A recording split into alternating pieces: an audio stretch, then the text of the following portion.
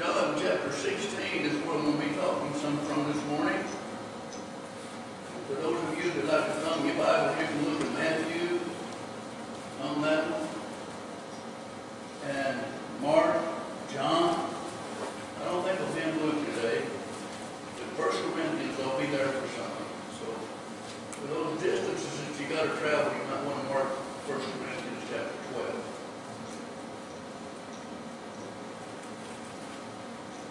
John chapter 16. I'm going to read the very first three verses of this thing first, and then we're going to get on down in it. These things I have spoken to you, that you should not be found, not you should not be offended. They shall put you out of the synagogues, yea, the time cometh that whosoever killeth you will think that they doeth God a service. Now, they're going to put you out of the synagogue, Christ is telling his disciples this today. It wasn't too long after that that the Apostle Paul, which was Saul, was doing that very thing. He was putting them out of, you see, so we're thinking this all has to take place today now. No, this is already something that's been taking place. It took place with the Apostle Paul. He was killing people because they were uplifting Christ, and that's what the disciples were doing. They were going into the synagogue, and they were uplifting Christ.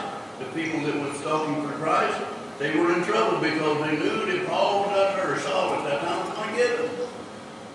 If he caught up with them doing that, they were going to be murdered for the sake of the gospel.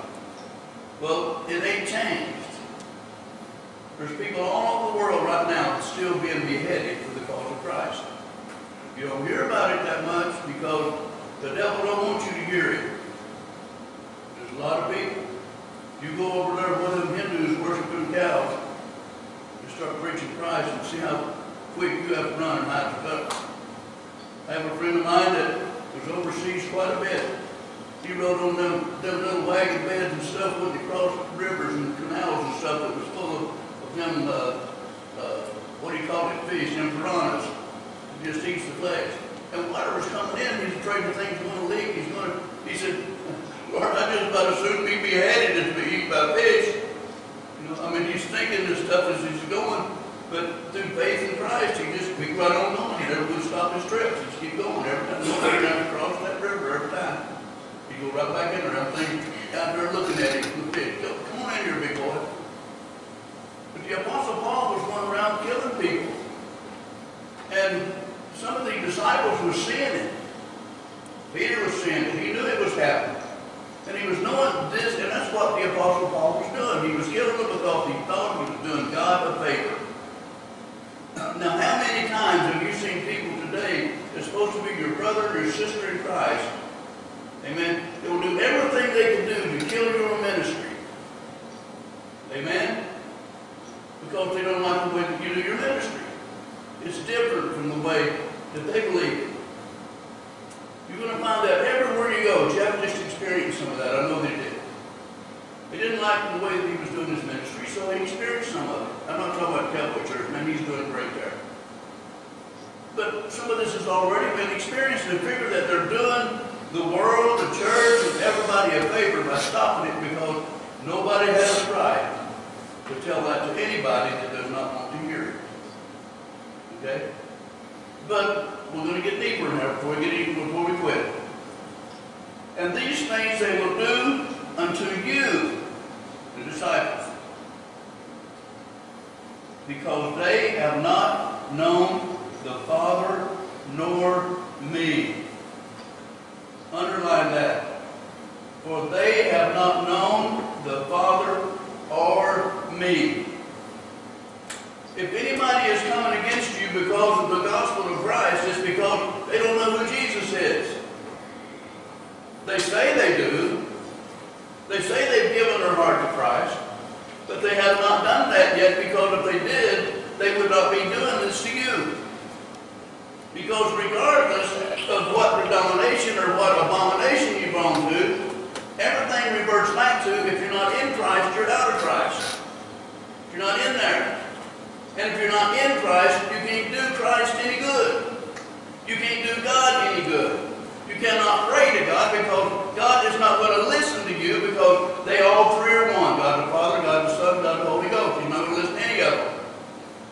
Unless you're in Christ. You've got to be in the cross. You can't ignore the cross of Calvary and expect to hear the truth of God. It will not happen. Now, if you'll hang on a few minutes, I'll tell you and show you how that you will not hear the Word of God in the truth. Okay? It's easy. Going down a few, few lines here. Okay. And there will come one that will reprove the world of sin and righteousness and of judgment. Of sin because they believe not on him. Of righteousness because I go to my Father and you see me no more. Now there will become one and you don't see him. Like you won't see me anymore. Jesus is going to go away to the Father. And when he goes away to the Father, you won't see him anymore. Am I correct? Well, the ones that he sends back, you ain't going to see him either. That's hillbilly. You ain't going to see him either. Why? Because he's a spirit. Well, why is a spirit? Because God is a spirit, and him that worships God must worship him in spirit and in truth. There's no getting around it. Okay? You can't do God the service by doing something in the flesh. You're going to do him the service, doing something through the spirit and using your flesh. Okay? That's the way that it works. Not because we desire to do better and we just don't, it just don't work out that way. I desire to do good, just like the Apostle Paul did. He said, I, among sinners, I'm the chiefest.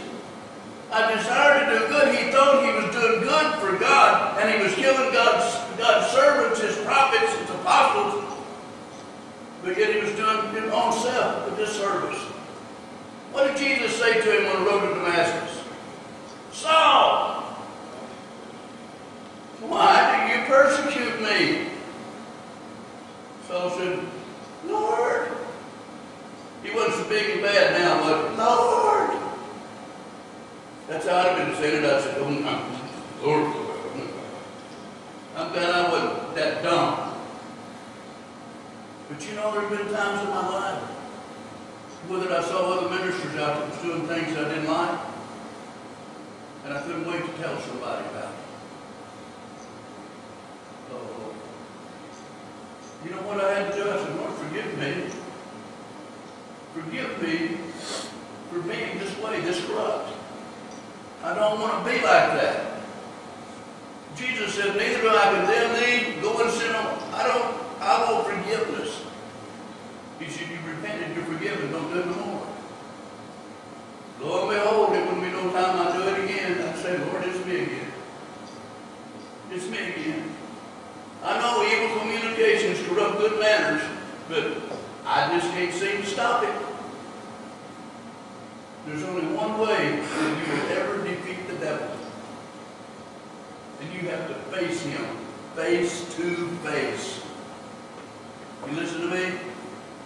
You face him face to face. Don't turn your back to him. Face him face to face and just name the blood of Jesus to him. Point your finger at him and say, I'm saved by the blood, that atoning blood of the Lord Jesus Christ. He paid the price. I have been redeemed.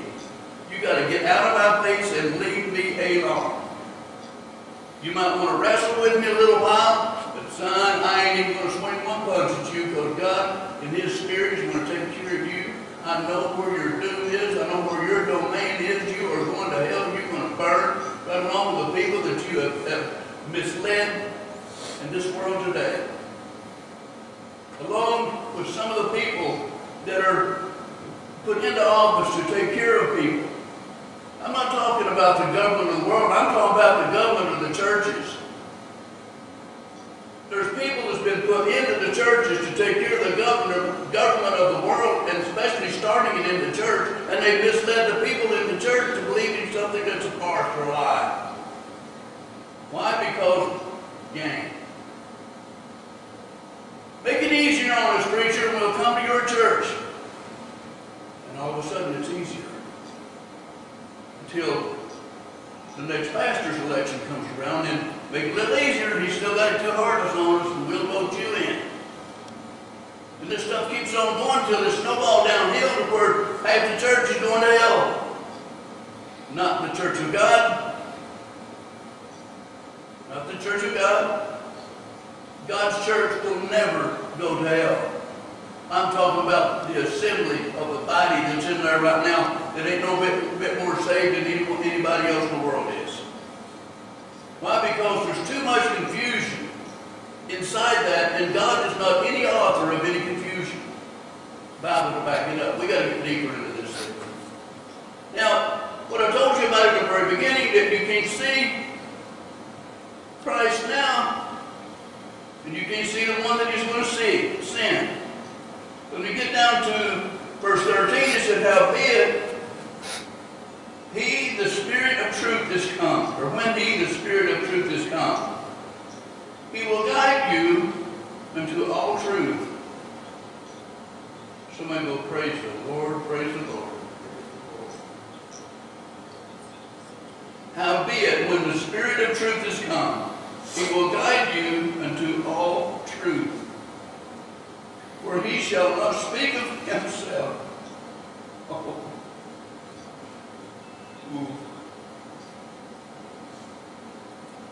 Man. I'm about to have a Holy Ghost fit. He will not speak of himself. How many times you heard people pop up and Holy Ghost told me to do this?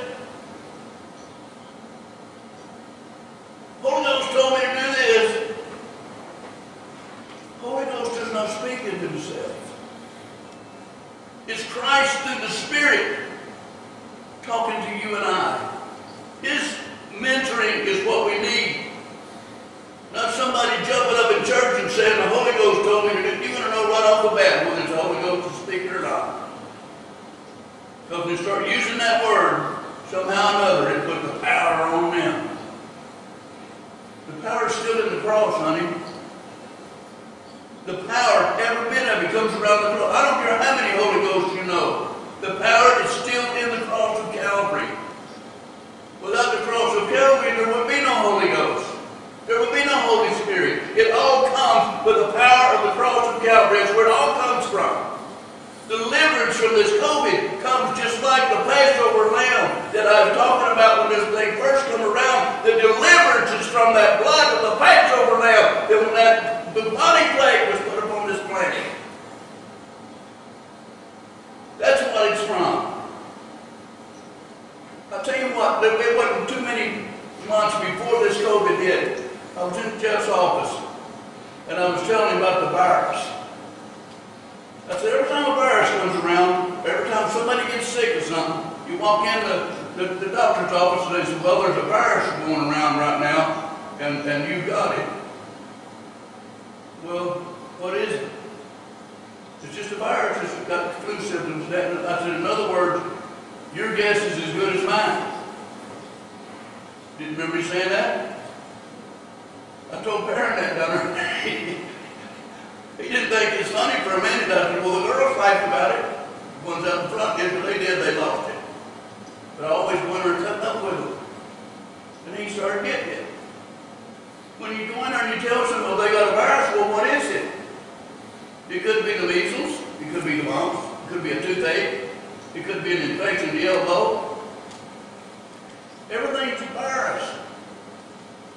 Your guess is as good as mine. That's exactly what they're talking about. That covers up a whole lot of ignorance, I think, if you look at it in that form. But they're still studying the virus. Still studying. They'll never break down on, on studying the coronavirus. They'll, they'll always be studying on that. How did it get developed? How did he get started? They all know how it got started. There'll be somebody trying to figure out their still of the way. I'm going to tell you, God was in the arrangements. Watch what happens to this country.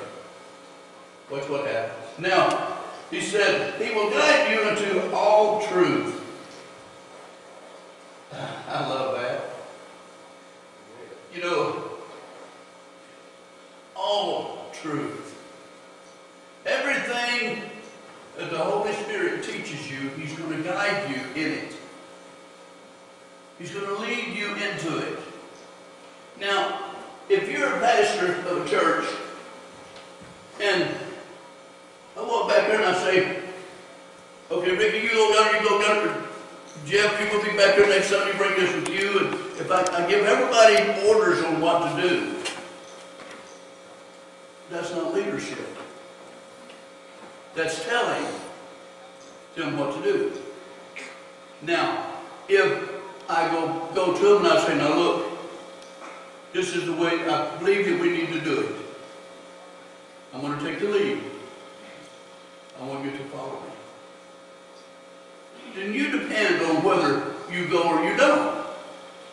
I guarantee you, when the Red Sea split, them people followed Moses. They followed him. Even Pharaoh followed it too. Didn't work out for him, but he was, they was following, they just following Pharaoh. They were following the leader, the shepherd, is who they were following. Moses didn't stand on the bank part of the water and say, okay, go. When they saw that water split, they knew right then that was their way out of there they would go. I don't know whether Moses went first or whether he went last, I guarantee you he was standing in the water. He was standing, do you hear me? I said he was standing in the water.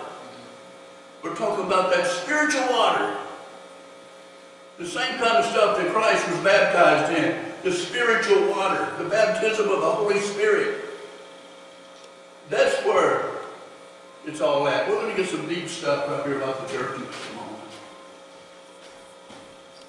You're going to realize probably more this morning when you leave here, and I hope you do, that you have more respect for the Spirit of the Lord in the church because I want to tell you something. The Spirit of the Lord is all that's holding this thing together. Amen. The Holy Spirit is in every heart in this building And is what's holding this thing together. Without that, we're out of here. And somebody says, well, I hope he don't ever remove the Spirit. I hope he does one day. That's like, I used to preach and I'd get out and I'd get to preach and man, I just have a spell. I just shout all over the place. And even run a little bit because that's the way we did it. It's all right. Well, the other night I was praying. Oh, thank you. We go again. I was praying, Lord, I sure would like to have a shout back. I sure would like to have a Clarence Brockman. Just one or two. And he said, there'll be plenty enough time for that when you get up here. I said, forgive me. I want you to teach the way I called you to teach. I have to do that. And you know what? I can rejoice more now knowing that I'm pleased to do the way that God's pleased with me. And I don't have to reach out any farther than what I was for what I got. I got it right now. Be happy with what I got. And you know something else? You cannot lead nowhere if you're demanding. You can't lead in your home. If I was instructing Mavis every day on what she had to do, I'd never get anything out of her. There would be no unity. She'd be sitting one. And then her heart should be going.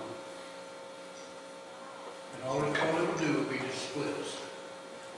What do you think the biggest problem in the church is? Not enough direction from the pulpit to the Holy Spirit, too much input from the body of Christ, the people out there. They think that they got it together, and everybody needs to teach it the way that they believe it, or they're out of here. They find never another church no pastor. Well, sooner or later, you're going to run out of pe- people to preach to you because you ain't listening no.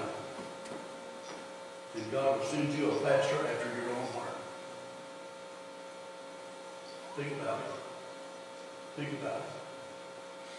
Think about it. You know, if you don't have unity, if I didn't have unity in my house, I couldn't have unity nowhere. None of my kids, I mean, none of my grandkids, and my kids, they don't please me all the time. But I'm going to tell you something right now. There's never a moment that goes by in my life that I'm not concerned about me and my wife leading them by our own leadership. And not with what we tell them what to do and how to do. I've had people ask me why, and I hate do you treat your son the way that you treat him. I love him. I love him. Yeah, but I said, wait a minute. God loves me. God loves me. He still loves me. Even though I'm not turning my back on my son. And I'm going to tell you something right now. My son's a whole lot different human being today because of it. It's taking, taking him some while, but it's coming around. You can see it. You, you can see when he calls his mom and talks to her. Has things on his heart. Because the very thing that I did for him, he's doing for his granddaughter right now. If it hadn't been for maybe Snide stepping in when we did, he could have very well been in the same place that Justin was in. I don't have any regrets. I don't have any regrets because our leadership, our leadership, Lena has seen it. And there's been times she said, time to, she said, Dad, I don't see why you do it. I said, "Because, son, and she's figured it out. She's figured it out. And it doesn't matter if Daddy Boy's still Lord. Just go forward. And he said, Well, whatsoever he shall hear, that shall he speak. And he will show you the things that are to come. Now, whatever it is that he, he sees, he's going to bring it out. He's going to tell you about it. And what he sees, he's going to take it of, of what Jesus is, it's what's mine. And what is Jesus' possession?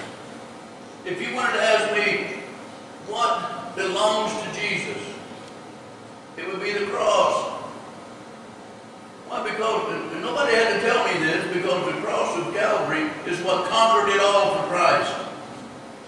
When he went there and gave his life on the cross of Calvary, that was all I needed to be born again, to be redeemed by the power of his blood. That's all that I needed.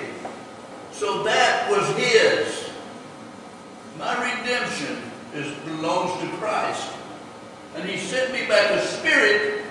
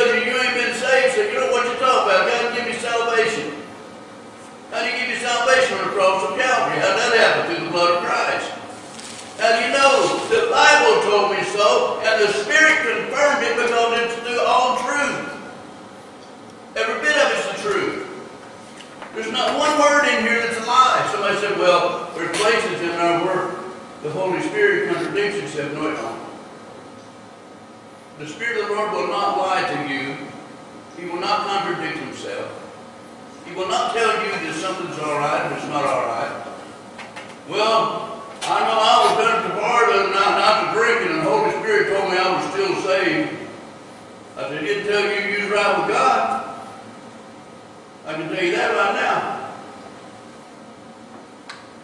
Just like I told a man one time that, that called me at three hours in the morning. When he called me, he was, he was talking about, he was drunk then, two o'clock in the morning. Telling me that some woman stood up in the church and called him, took him out after church was over with, and told him, said, don't worry about your wife there, brother so-and-so. Said, the Lord told me that in a year your wife was coming back to you. I said, the Lord told her that? He said, yeah. I said, no, he didn't.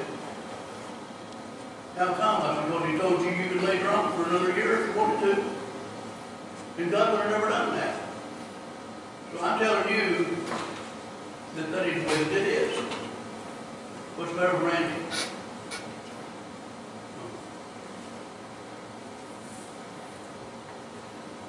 That's not the way that it is. When God says it, it's settled. And the Holy Spirit is never going to, contradict the Godhead. He's never going to con- contradict his own words. If he tells you that Ricky's mask is black and it matches Jerry's, then, hey, Jeff's trying on them too. Then if he's telling you about that black mask, then what that means is that they're not the black militia just because they're wearing black. Then he's right. But if he tells you they got a mask on, they're probably part of that black militia bunch. That the Holy Spirit. Because the Holy Spirit knows where the devil is at. Hello? He don't have to look under every rock. Somebody say that. The Godhead. God the Father, God the Son, God the Holy Ghost. The Holy Ghost knows where the devil. I will not forget that across my heart. He don't have to go looking for the devil. Now, if he don't have to go to the devil looking for him, why can't we just depend on, on the Holy Spirit to reveal him to us? Ain't he supposed to be here? The next time that dude shows up, Holy Spirit, please allow me to have the vision of knowing he's there to tempt me and bring me down from what I'm on. And I ain't some, saying high that you're on either, because if you're on Christ, you ain't coming down off that unless you bring your own self down, and the devil, or the Holy Spirit would never do it. The devil would be right there trying to do it every time you turn around, he's not going to do it. Now, the profession of faith that we made, Matthew chapter 16 and 7, uh, 16, verse 17. I want to turn back and read that.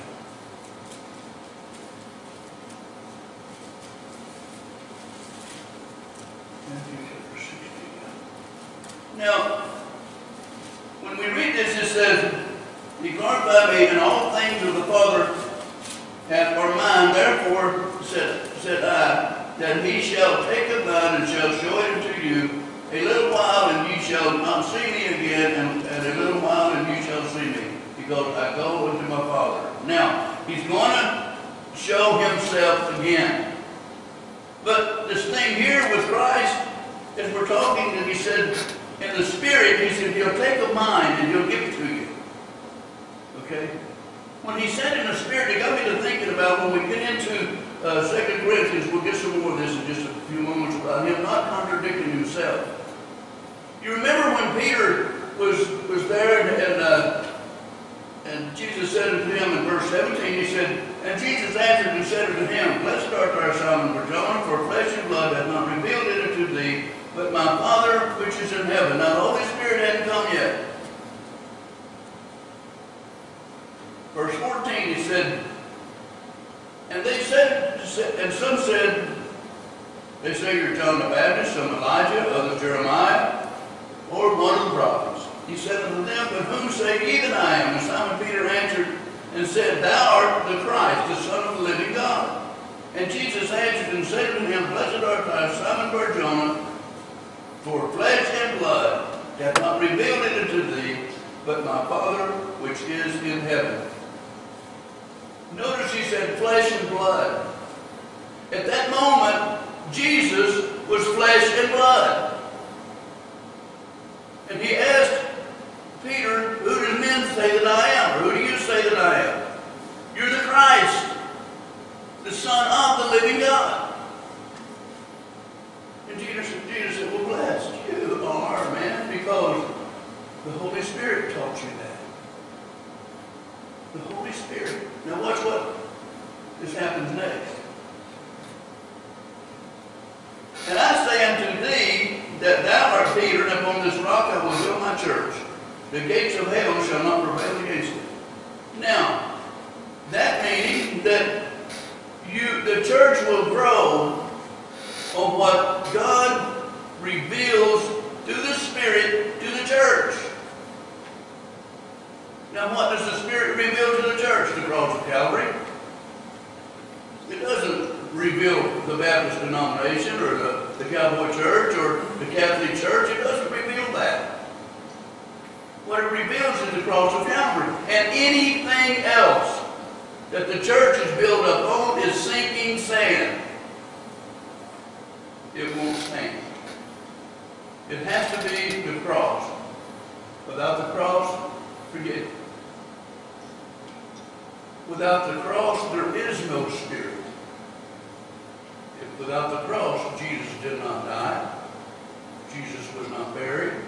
He did not raise from the dead. He did not ascend into the heavens, and he did not send back the Holy Spirit. There was no Acts chapter 2 when the Holy Ghost fell over the upper room. So the cross has to be it. Does that make sense?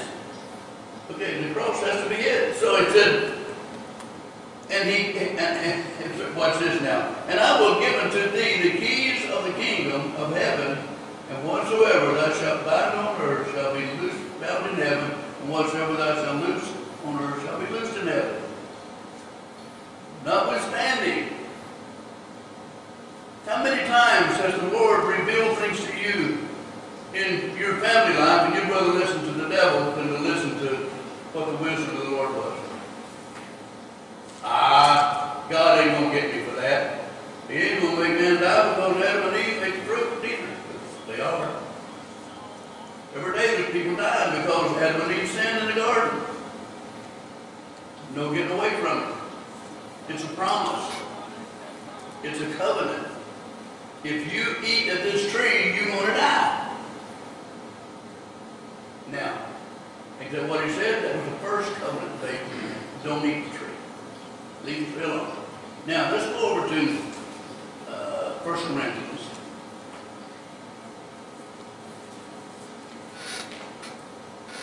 I uh, I want to talk a little bit about the gifts of the Spirit because this word, it seems to be uh,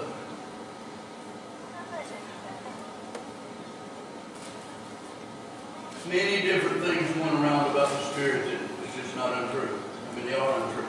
They're not the truth. Verse 12, 1 Corinthians is now concerning spiritual gifts, brethren. I will not have you take You know that you were Gentiles carried away into these dumb idols, even as you were led. Notice that word there that says led. Led. It seems like it's a whole lot easier to be led out of church than it is to be led into one. Ralph said something to me uh, last week when I told him that we were going to try and open this up. And do, how many of you glad we're doing this? Open this up this week when we come back in the sanctuary. You know what, Rick, what he told me? Ralph said, you know, some preacher, he, I can see why that you, you're you're to do this? He said, because when the people start staying away for, for a while, he said it gets to be a whole lot easier when they never come back. Amen. That's wisdom. That's wisdom. And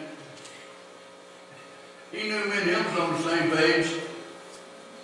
He knew it already. Because I haven't said it. My wife knew I was on that page.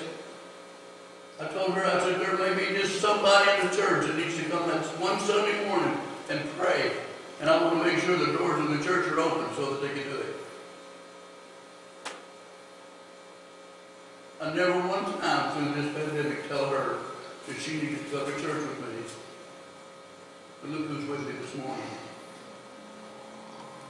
You see, she got a hold of that. Because she, she remembers back when we got out of church one time, it got to be real easy for us not to go back. Real easy. Real easy. You know, I thank God that I'm back. But I think, I thank God that I was led back into the Spirit, not the same thing that I was led out with. Amen. Evil led me out, but the Spirit of the Lord led me right back in. And I'm stronger now than I ever was in my life in the Lord. The foundation of the cross is stronger under my feet than it ever has been in my life. And I'm glad it's solid, I'm standing on it. If I fall, I'm gonna hit the rock. I ain't gonna hit nothing else but rock. And I ain't planning on falling anytime soon. Let's go to a little bit farther this. Wherefore I you, give you to understand that no man speaking by the Spirit of God calleth Jesus, Jesus accursed. And that no man can say that Jesus is Lord but by the Holy Ghost. That should be another instant there that you can understand what I was preaching to you earlier about. That's the only way you can say it is by the Holy Ghost. What good does it do you to say it by the Holy Ghost if you don't feel the Holy Spirit? None. If you talk about Jesus and still uplifting the Holy Ghost, you uplift Jesus through the Holy Ghost. You don't uplift the Holy Ghost. Jesus sent him. And I said, well, the Holy Spirit told me to go do this. But you already had a, a feeling that that's what you needed to do? Or did you ask God if there was danger there? Or was you even concerned? You just got to went. You know, a lot of times when we go and, and listen to the wrong voice, if the Holy Spirit is calling you out, He's going to lead you out. He's not going to open the doors and He's going to lead you out. Unless you're in another way. If you're booted out the door, don't blame it on the Holy Spirit. And don't blame it on the leadership of God unless He's trying to lead you out of something. That boot. If it's Him, He'll bring you back. He'll bring you back. And you'll be a lot stronger than you ever was before. Now let's go deeper. Now there are diversities of gifts, but the same Spirit. This is one that, that I want to talk about for just a moment. There is a, there is di- different types of gifts, and all of them are by the same Spirit, the Holy Spirit. Not all the spirits are the same, and not everybody is going to have all of those spirits. Because if you had all those spirits running around your head at one time, you'd be one of the most confused people in the world. There's one Holy Spirit, but many different gifts of the Spirit. Now, I'm not saying that the Holy Spirit will not manifest other gifts inside you, but He won't do it at the same time. I know for a fact that I've had the gift of prophecy a few times, and I've had it a few times right here since I've been in this church, and every one of them's come true. I will admit that there's been times that there's been discernment that He's given me, there's been wisdom that He's given me, and He did it in the time that, of the hour that I was in need. The time that it should be used is when He brought it forward to me, for me to do it. People ask me a question, and when He asks me a question, I have an answer. And I don't have to dig and stumble around very long to find it either. I can usually find it pretty quick because of the Holy Spirit moving inside me.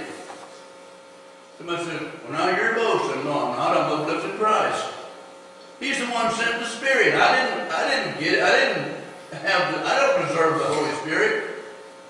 Somebody asked me the other day, said, how you doing, Brother Danny? I said, a lot better than I deserve. Huh? You ever think about that? A whole lot better than I deserve. But I'm okay by the grace of God. Now, with that being said, if if you got 15 people up prophesying at one time, and they're all prophesying, prophesying something else on one another, who are you going to know how to listen to? How are you going to know whether it's the Spirit of the Lord or not? Is there confusion in it? If it is, chances are it ain't the Lord. Same way with talking in tongues. Amen. Paul said that's the least. that's the least. And all of a sudden the least became first. Okay? So let's go on deeper. It said, and there are diverse types or diversities, however you want to say it, of operation, but in the same God which worketh all in all. Now, the operations of the Spirit, okay, the gifts are the same Spirit. The Holy Ghost will not uh, uh, contradict itself. He'll not tell you that sin is okay. The abilities and the powers of the gifts are preached by the operations of the energy of the Holy Ghost, dividing unto every man his several ability. I gotta read some more. But the manifestation of the Spirit is given to profit withal. What good would it be to do something to profit the church if there's no need for it? If everybody sitting in the church is already in there and it's not going to profit the church any, anyway, why would it do any good? Why would it do good for the Holy Spirit to prophesy to somebody in say, now there's somebody here tonight that's having a real serious problem with glaucoma. If everybody in the church is blind, wouldn't make any sense, would it? What difference would it make if some if somebody stood up in the church? God has given somebody in the church a vision and they need to stand up and say it. Every person in the church is going to stand up. I believe the Reds is going to win next year. Or I believe it'll be, Burrows will be back with a vengeance, man. How about the Lord's coming back? To be the vision that the Holy Spirit has given everybody. We need to tend to His business. You know, when we get it in our minds into how the Holy Spirit should work, we can't work the Holy Spirit in our church until we get out of that comfort zone. Okay. One thing about the Holy Spirit I'm going to give to you here for, for another example. The Holy Spirit, manifestation given to the Spirit, the word of wisdom, another word of knowledge, another faith in the Spirit, another working of miracles, another prophecy, another discernment of the spirits, the tongues, and the interpretation. But all these worketh in the self-same Spirit, dividing every man severally as he will. Read that with me. But all these worketh that same, that one and the same self-same Spirit during every man severally as he will. So I say amen. Okay, what this means is the Holy Spirit does not delegate his authority to nobody else. Okay? You don't do that. When the delegated authority comes from the Holy Ghost, the message, the Word of God, is what delegates the authority to you. Cross died for you, or Christ died for you on the cross. That delegates the authority to you to receive salvation. But now, watch this. The Holy Ghost does, does all the displacement of the Holy Spirit. Why, it's His. Everybody say it's His. So He's going to displace it where it's supposed to be. So, I can never tell you, get on up here and I'll pray for you and you'll start talking in tongues. No. By the Word of God, no.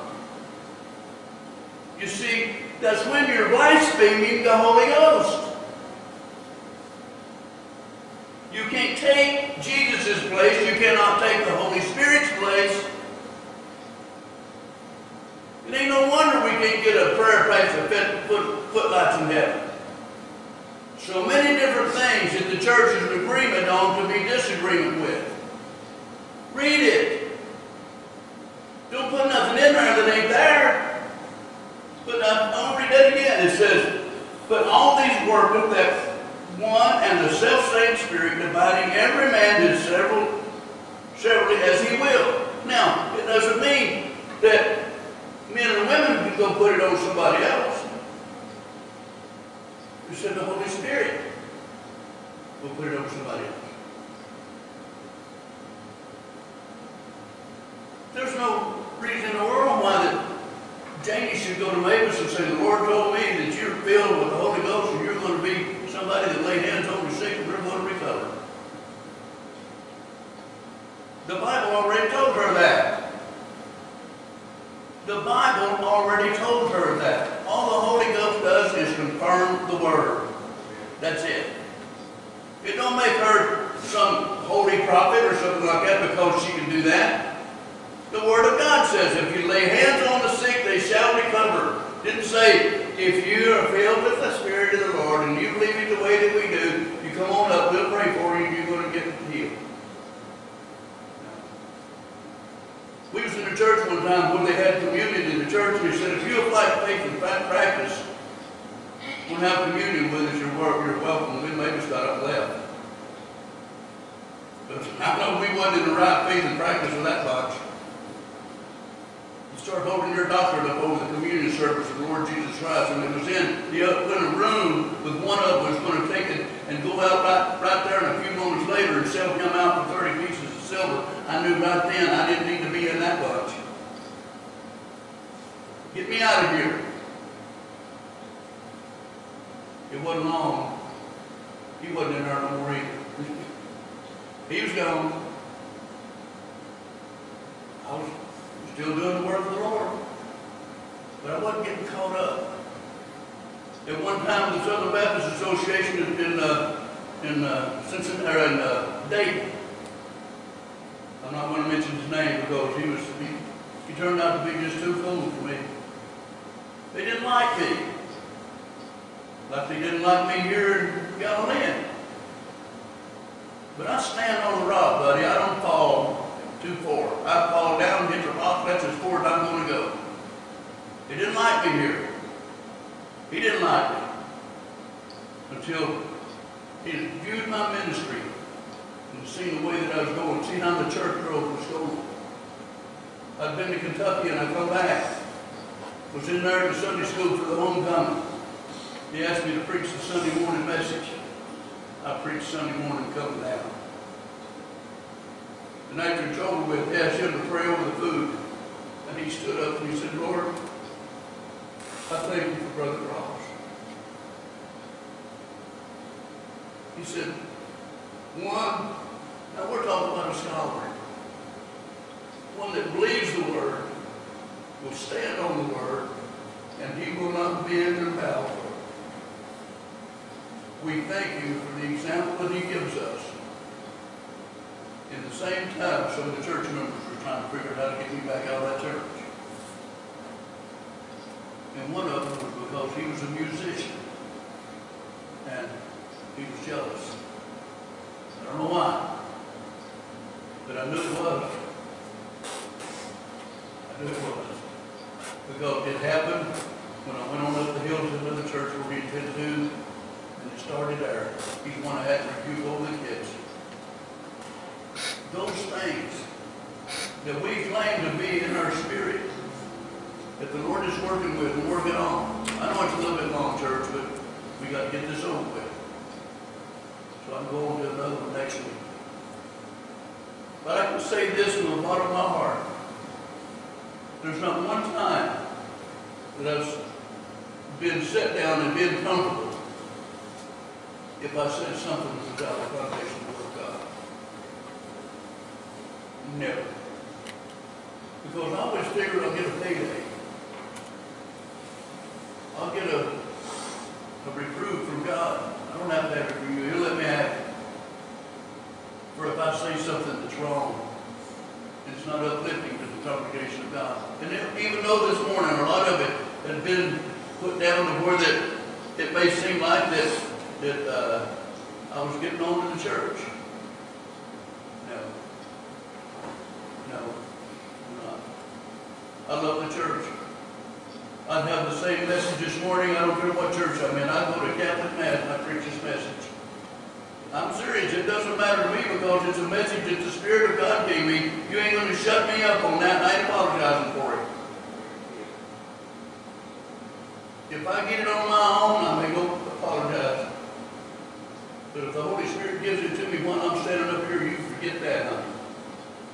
I know where it comes from, just like I know where my prayer of faith comes from when I prayed earlier today about the people. And I'm going to close this part out.